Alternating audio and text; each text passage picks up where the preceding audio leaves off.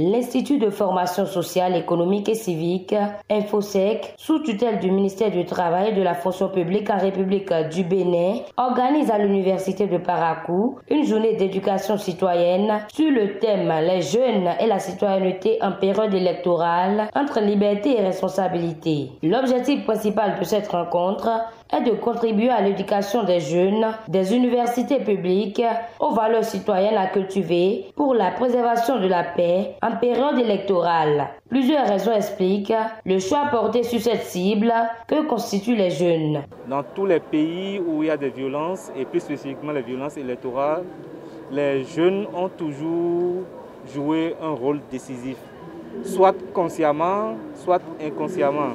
Soit ils sont manipulés, soit ils sont juste des pions que certains hommes ou femmes utilisent pour atteindre Et comme on sait que les jeunes ont l'énergie, la fougue, et qu'ils ne réfléchissent pas toujours avant de se jeter dans les batailles, ils sont souvent amenés à jouer des rôles de déclencheurs de violence.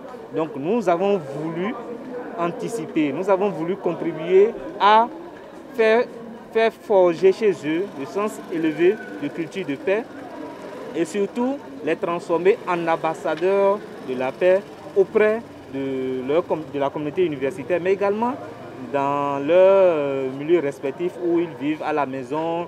La notion de paix a été tournée et retournée dans tous les sens à travers plusieurs communications. L'un des facteurs qui la favorise étant la liberté. Mais il ne saurait y avoir liberté sans responsabilité. Les jeunes sont libres de s'exprimer, libres d'agir, libres de faire. Mais attention, cette liberté est cadrée par des responsabilités. Tout n'est pas bon à faire.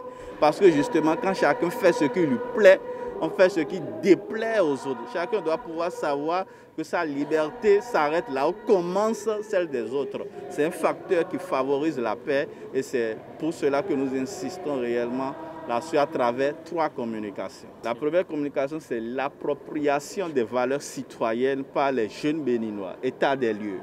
La deuxième communication, c'est les enjeux de la préservation de la paix en période électorale.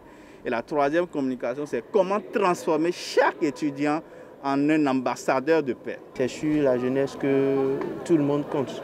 Ceux qui veulent faire du bien comme ceux qui veulent faire du mal. Et il revient euh, à ces jeunes-là de prendre leurs responsabilités, de savoir qu'en étant citoyen, en appréhendant, en sachant ce que c'est qu'un bon citoyen, d'agir en conséquence pour éviter d'être ceux-là qui seront fauteurs de troubles. Donc essentiellement, je retiens que la responsabilité doit être de mise, la notion de citoyenneté doit être prise en compte et intériorisée pour que la nation soit en paix. Désormais, les jeunes sont donc mieux outillés pour être des ambassadeurs de la paix.